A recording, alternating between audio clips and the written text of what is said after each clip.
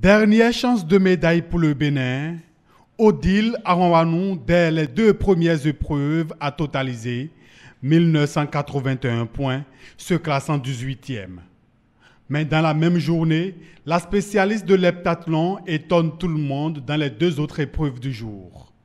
Elle établit un nouveau record personnel aux 200 mètres en 23 secondes 85 centièmes. Grâce à un total de 3867 points, elle est classée cinquième. Pour ses fans, il y a de l'espoir et surtout une chance d'être sur le podium. Malheureusement, le deuxième joue peut-être trop de stress, peut-être trop de pression.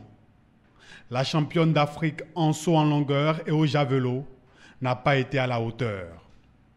De la cinquième place, elle passe à la dixième place avant de courir la dernière épreuve, le 800 mètres.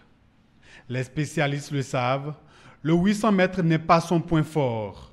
Au terme de cette deuxième journée, la Belge d'origine sénégalaise Nafissa Toutiam, 6791 points, est championne olympique. Quant à la béninoise Odile Arouanou, elle occupe la 15e place avec un total de 6186 points sur 24 concurrentes. Elle est d'ailleurs l'Africaine la plus classée à ces Jeux olympiques en heptathlon.